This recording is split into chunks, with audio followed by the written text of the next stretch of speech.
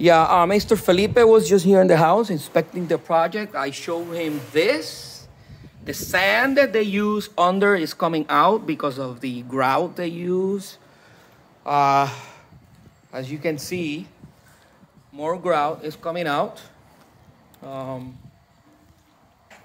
I show him the that grass compared to like that one. Look how that one is real nice, yet this one is a mess because they kept coming, coming, and uh, you know, stepping on it.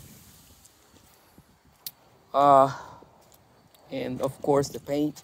And they didn't put tar underneath the rocks, which is gonna cause eventually weed to come out. So I'm doing this video. I'm sending this video to him as well as proof. See, see that paint? I'm sending him in I, I want to keep things cleared and this is business. And, uh, you know, it is my project, it is my house, so I want it to be perfect because I'm paying a lot of money for this. Look, more sand coming out.